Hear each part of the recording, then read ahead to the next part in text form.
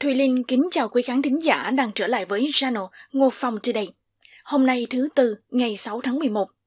Cảm ơn quý vị đã luôn đồng hành với hệ thống kênh Ngô Phong. Và chương trình hôm nay sẽ là những nội dung tin tức và bình luận liên quan đến cuộc bầu cử Tổng thống Hoa Kỳ 2024.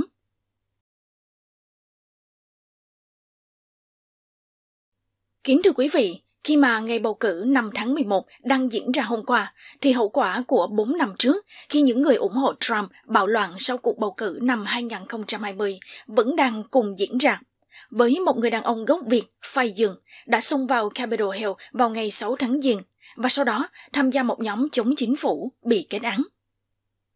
Theo CNN, Phai Dương, một người đàn ông đến từ Bắc Virginia, bị bắt lần đầu Vụ việc của ông đã trở thành một trong những cảnh báo rõ rệt về mối nguy hiểm tiềm tàng mà các lực lượng thực thi công lực đang theo dõi từ các phần tử cực đoan sau vụ tấn công vào Capitol. Dương đã nhận tội danh liên quan đến tội gây rối dân sự sau khi tiến vào tòa nhà, quay phim khi mặc đồ đen và đeo khẩu trang để che giấu danh tính. Sau cuộc tấn công, Dương tổ chức các cuộc họp tại nhà riêng với những người khác nơi họ thảo luận về việc ly khai khỏi Mỹ, chế tạo bom xăng và giám sát các hoạt động quanh Capitol Hill. Mặc dù vậy, ông ta không phải đối mặt với bất kỳ cáo buộc nào liên quan đến các cuộc họp này. Trước khi tuyên án, các công tố viên đã nhấn mạnh rằng hành động của Dương trong vụ bạo loạn là sự phản bội lời thề của một cựu lính thủy quân lục chiến và thể hiện sự thiếu hiểu biết về sự nghiêm trọng của việc tham gia vào chủ nghĩa cực đoan trong nước. Thẩm phán Paul Friedman của Tòa án quận DC, nơi đã tuyên án hàng trăm kẻ tham gia vụ bạo động, đã quyết định rằng Dương sẽ bị quản chế trong 3 năm rưỡi, phải bồi thường 2.000 đô cho thiệt hại ở tòa nhà quốc hội và hoàn thành 50 giờ lao động công ích.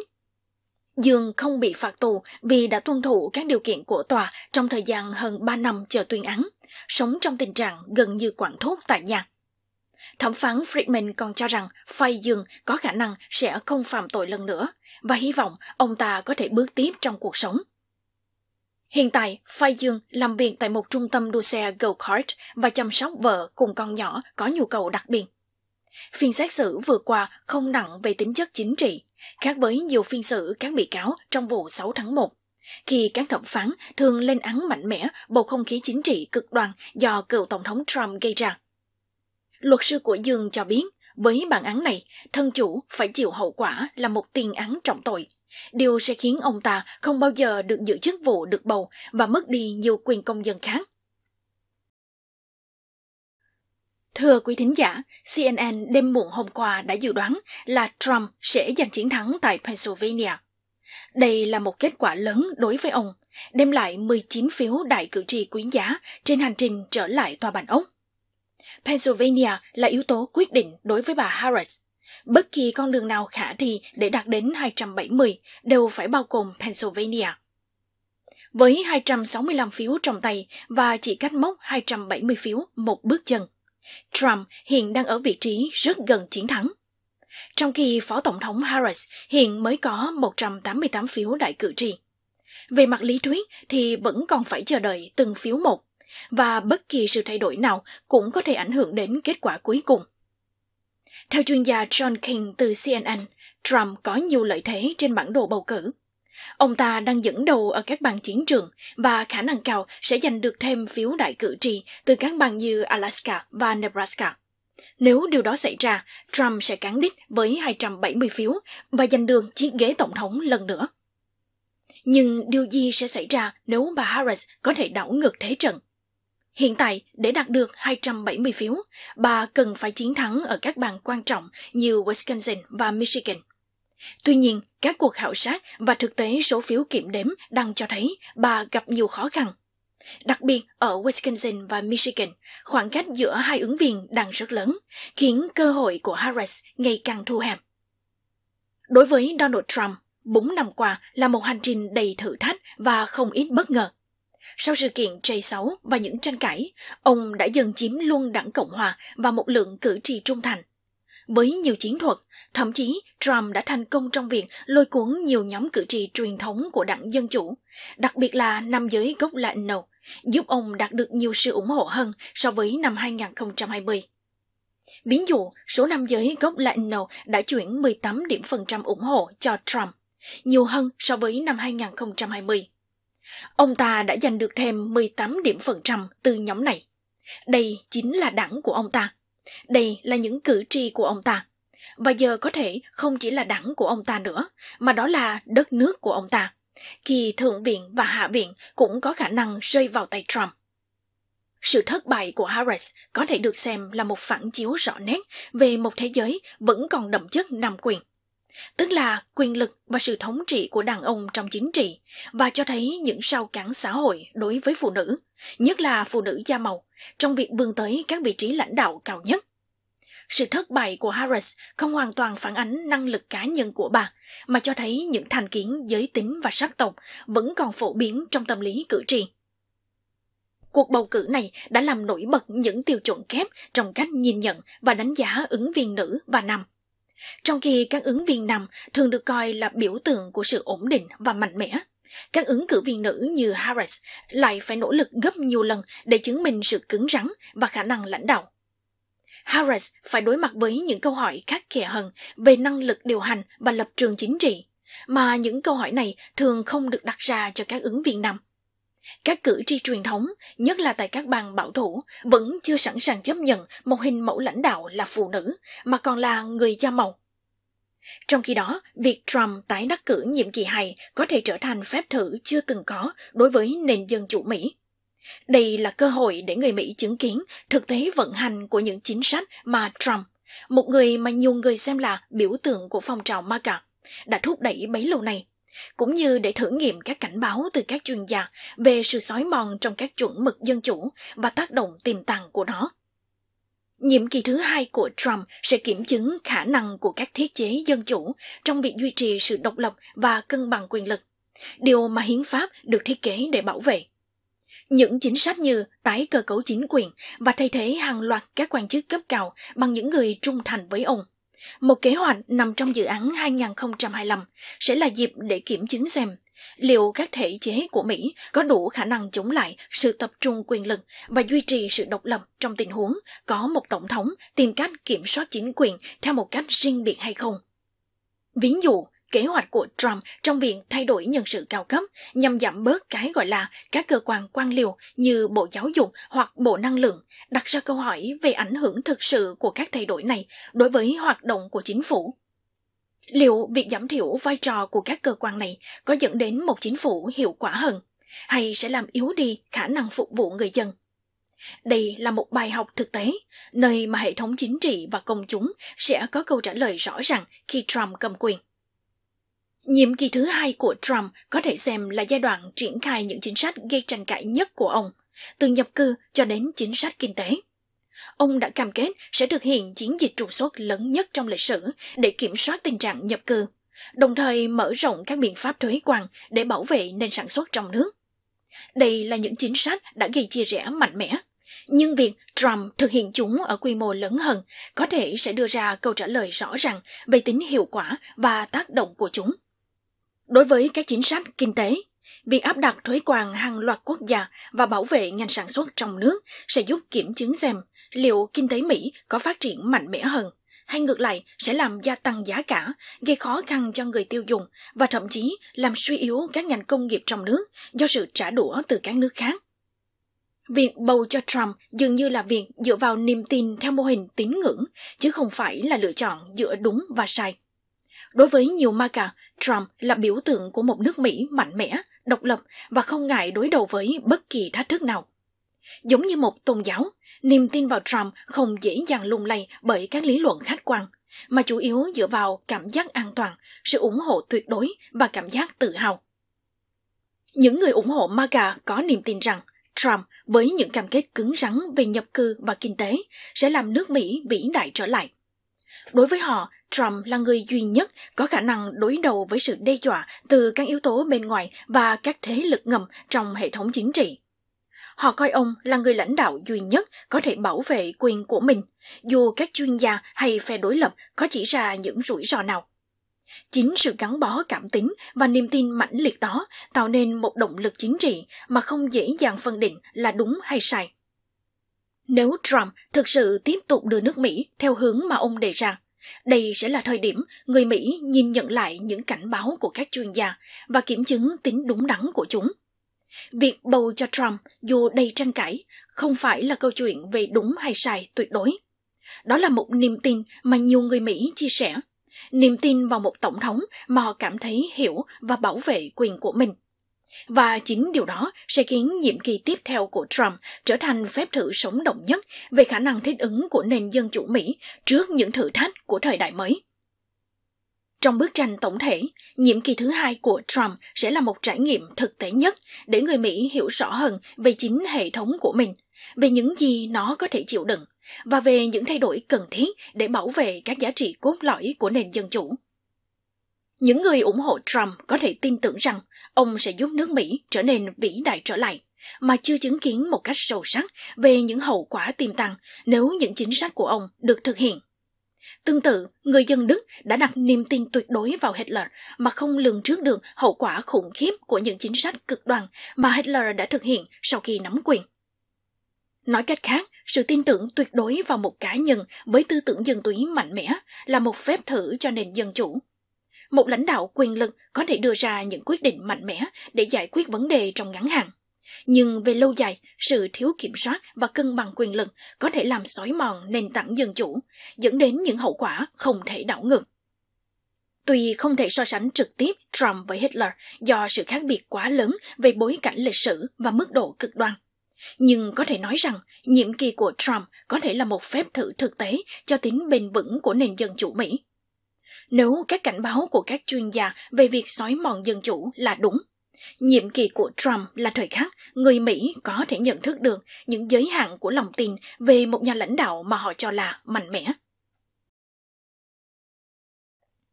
Đảng Cộng hòa dự báo là đã giành quyền kiểm soát Thượng viện hai bang sẽ có thượng nghị sĩ Cộng hòa mới là Jim Justice ở West Virginia và Bernie Moreno ở Ohio. Với đa số mới, phe Cộng hòa sẽ lại có cơ hội gia hạn các giảm thuế cho người giàu của Trump, bổ nhiệm thêm các thẩm phán bảo thủ và có ảnh hưởng lớn đến nội các của Tổng thống tiếp theo. Trong khi đó, cuộc bầu cử Hạ viện không có nhiều điều ngạc nhiên sau khi hầu hết cuộc đua đã có kết quả, khiến cuộc tranh giành thế đa số Hạ viện vẫn sát sao phe Dân Chủ đang đặt niềm hy vọng vào lãnh đạo thiểu số Hạ viện Hakeem Jeffries để ngăn chặn thế ba chân của đảng Cộng Hòa tại Washington. Việc đảng Dân Chủ bị quét sạch ở Thượng viện và Trump gần như quay lại tòa bạch ốc khiến tình hình trở nên căng thẳng. Cuộc đua giành quyền kiểm soát Hạ viện đang ở thế cân não. Một thành viên cao cấp của đảng Dân Chủ mô tả tâm trạng hiện tại của đảng là cảm giác buồn nôn, khi dân biểu Steve Cohen cho biết không khí thật chán nản. Cả đảng Dân Chủ và Cộng Hòa đều có khả năng lật ngược một số ghế, làm cho cuộc chiến kiểm soát Hạ viện trở nên không thể đoán trước vào sáng thứ Tư. Đảng Dân Chủ kỳ vọng sẽ chiếm được một số ghế ở New York, trong khi Cộng Hòa có thể giành được ghế ở các bang thuộc bức tường xanh như Pennsylvania và Michigan. Kết quả cuối cùng có thể phụ thuộc vào các cuộc đua ở một số bang miền Tây như Alaska và California, có thể mất nhiều ngày hoặc thậm chí vài tuần để xác định dân biểu dân chủ Jared Huffman cho biết vẫn cần thêm vài ngày cho một số cuộc đua ở California. Nhưng ông tự tin vào kết quả và cho rằng dân chủ tại Hạ viện có thể trở thành hàng rào xanh mỏng manh ngăn chặn quyền kiểm soát toàn diện của đảng Cộng hòa. Vào tối qua, một số nhà báo thuộc nhiều cơ quan truyền thông lớn đã bị từ chối quyền tham dự sự kiện theo dõi kết quả bầu cử của Trump tại West Palm Beach, Florida. Được biết, đây là một hành động đáp trả từ phía đội ngũ Trump đối với những bài viết mà họ cho là không có lợi cho chiến dịch. Những phóng viên từ Politico, Axios, Puck, Voice of America và Mother Jones nằm trong số những người bị từ chối quyền vào sự kiện này. Một số đơn vị như Politico đã được cấp phép từ trước rồi bất ngờ bị rút lại quyền tham dự ngay trong ngày sự kiện. Đội ngũ phóng viên của Politico bao gồm các phóng viên và nhiếp ảnh gia, ban đầu được chấp thuận để tham gia sự kiện. Tuy nhiên, vào sáng thứ ba, họ nhận được thông báo không được cấp phép vào dự. Theo một nguồn tin quen thuộc với sự việc, quyết định chống lại báo chí có thể là do bài viết trên tạp chí Politico liên quan đến việc một giám đốc khu vực của chiến dịch Trump bị sa thải vì có liên hệ với nhóm chủ nghĩa thượng tôn da trắng. Phóng viên Tara Palmieri của Park cũng gặp tình huống tương tự. Ban đầu, Palmieri được giao nhiệm vụ đưa tin từ sự kiện như một phần của chương trình đặc biệt của Amazon do Brian Williams dẫn dắt. Nhưng ngay sau khi Palmieri đăng bài viết về lo ngại trong nội bộ chiến dịch của Trump, quyền tham dự của cô bị thu hồi. Đồng sáng lập Park, ông John Kelly cho biết rằng việc từ chối phóng viên tham dự là điều đáng tiếc, nhưng cam kết rằng đội ngũ của Park vẫn sẽ tiếp tục đưa tin trung thực và mạnh mẽ về các sự kiện chính trị hiện nay. Theo một nguồn tin từ chiến dịch Trump, việc từ chối quyền vào sự kiện là do các bài viết bị cho là không chính xác hơn là chỉ vì quan điểm phê bình. Tuy nhiên, họ vẫn mở cửa cho một số phóng viên khác từ các cơ quan truyền thông này tham dự. Các phát ngôn viên của chiến dịch Trump chưa phản hồi yêu cầu bình luận từ truyền thông, nhưng ông Chris LaCivita, đồng chủ tịch chiến dịch, đã viết trên mạng X rằng Palmieri bị từ chối vì có xu hướng viết những điều nhảm nhí. Ông này còn cho biết chiến dịch Trump có một danh sách đen các phóng viên chống Trump. Trước cuộc bầu cử, ứng cử viên Trump thường xuyên chỉ trích giới truyền thông và hứa sẽ có các biện pháp mạnh tay với báo chí nếu đắc cử bao gồm việc bắt giam phóng viên nếu không tiết lộ nguồn tin và thu hồi giấy phép của các đài truyền hình bị ông cho là thiên lệch. Phóng viên Sophia Kai của Axios cũng bị từ chối quyền tham dự sau khi biết về sự lo lắng trong chiến dịch Trump trước ngày bầu cử. Các phóng viên từ Voice of America và Mother Jones cũng gặp tình huống tương tự. Một nhà báo của Voice of America cho biết, sau đó có hai phóng viên khác của đơn vị này vẫn được phép tham dự sự kiện. Nhìn lại, chiến dịch của Trump và chính quyền cũ của ông từng có tiền lệ hủy quyền tác nghiệp của báo chí khi không hài lòng về nội dung các bài viết. Điển hình là năm 2018, tòa bạch ốc của Trump từng rút giấy phép của phóng viên CNN Jim Acosta. Chỉ sau đó phải khôi phục lại sau khi CNN kiện ra tòa án. Một số tin tức bên lề đáng chú ý về bầu cử diễn ra hôm qua một sự cố nghiêm trọng đã xảy ra vào ngày bầu cử ở bang Georgia khi có nhiều lời đe dọa đánh bom xuất phát từ Nga đã khiến các điểm bỏ phiếu ở bang này phải tạm thời đóng cửa. Thông tin được Bộ trưởng Hành chính bang Georgia, ông Brad Raffensperger, xác nhận trong buổi họp báo chiều qua. Theo ông Raffensperger chia sẻ, các mối đe dọa đó không được coi là có cơ sở thực tế, nhưng vì sự an toàn của cử tri, nhà chức trách vẫn cẩn trọng điều tra kỹ lưỡng. Ông nói, chúng tôi đã xác định nguồn gốc các đe dọa này đến từ Nga. Dường như họ muốn gây rối và ngăn chúng ta có một cuộc bầu cử suôn sẻ, công bằng và chính xác. Sự cố đã khiến nhiều điểm bỏ phiếu tại các khu vực như Trung tâm Cộng đồng Idris và trường Gallard ở Union City, ngoài ô Atlanta, phải tạm thời đóng cửa. Đây là khu vực có đông dân cư là người da đen sinh sống. Theo thông tin từ cảnh sát quận Fulton, thời gian bỏ phiếu tại 5 điểm bầu cử bị ảnh hưởng sẽ được kéo dài để bảo đảm mọi người đều có thể thực hiện quyền công dân. Chủ tịch hội đồng quận Fulton, ông Rob Pitts cho biết, mặc dù có những trì hoãn, ông tin là việc báo cáo kết quả bầu cử sẽ không bị ảnh hưởng đáng kể. Trong khi đó, tại quận Gwinnett, hai điểm bầu cử cùng địa điểm cũng phải tạm ngừng hoạt động do nhận lời đe dọa. Thời gian đóng cửa kéo dài khoảng một giờ, và sau khi xác minh không có bom, các điểm này đã được mở lại và hoạt động cho đến 7 giờ 58 phút tối, muộn hơn giờ quy định. Quận DeKalb cũng gặp phải tình trạng tương tự với 5 điểm bầu cử phải tạm dừng vào khoảng 5 giờ chiều. Thời gian bỏ phiếu ở đây cũng được kéo dài thêm để bù lại thời gian gián đoạn. Theo ông Raffensperger, các mối đe dọa ở DeKalb cũng có dấu hiệu xuất phát từ Nga. FBI hiện đã vào cuộc và phối hợp cùng các cơ quan thực thi công lực địa phương để bảo vệ an ninh cho cuộc bầu cử. Một đại diện FBI cho biết, mặc dù các mối đe dọa này không được coi là có thực, họ vẫn sẽ theo dõi sát sao để đảm bảo mọi cử tri đều được an toàn khi đi bầu. Một cử tri tên Michael Osborne chia sẻ, khi ông đến điểm bỏ phiếu tại Union City, ông đã thấy các xe cứu thương và cảnh sát bao quanh tòa nhà. Lúc đó, một sĩ quan cho biết họ đang xử lý đe dọa đánh bom và yêu cầu mọi người không vào bên trong. Ông Osborne cùng nhiều cử tri khác đã phải đứng chờ bên ngoài khoảng một giờ cho đến khi lực lượng chức năng xác nhận an toàn. Trong khi đó, các quan chức tại Milwaukee thông báo họ đang tiến hành kiểm tra lại khoảng 34.000 phiếu bầu sau khi phát hiện một số sự cố kỹ thuật ở một số máy đếm phiếu.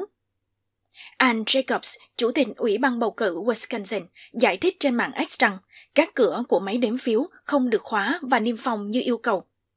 Đây là vấn đề cần phải giải quyết để bảo đảm tính chính xác và minh bạch của quy trình bầu cử. Theo bà Jacobs cho biết, cả hai đảng chính trị đều nhất trí rằng không có sai sót nào trong tiến trình kiểm phiếu cho đến hiện tại. Tuy nhiên, để bảo đảm tính minh bạch và tạo niềm tin cho người dân, họ quyết định kiểm đếm lại số phiếu đã qua máy từ đầu. Do đó, báo cáo kết quả của Milwaukee sẽ bị chậm trễ, và bà Jacobs đã gửi lời xin lỗi vì sẽ có một đêm dài ở thành phố này. Dù vậy, bà khẳng định đây là quyết định đúng đắn trước khi có bất kỳ kết quả nào được công bố, và nhấn mạnh là không có vấn đề nào với bản thân máy đếm phiếu. Thượng nghị sĩ Cộng hòa Ron Johnson, đại diện bang Wisconsin, cho biết ông sẽ đến trung tâm kiểm phiếu Milwaukee để trao đổi với các nhân viên kiểm phiếu và người giám sát về nguyên nhân của sự chậm trễ. Wisconsin là một trong những bang giao động quan trọng. Bang này đã bầu cho Trump vào năm 2016 và chuyển sang bầu cho Tổng thống Biden vào năm 2020. Và bản tin của sáng nay đến đây cũng đã kết thúc. Cảm ơn quý thính giả đã quan tâm theo dõi. Thùy Linh xin kính chào và hẹn gặp lại quý vị vào sáng ngày mai.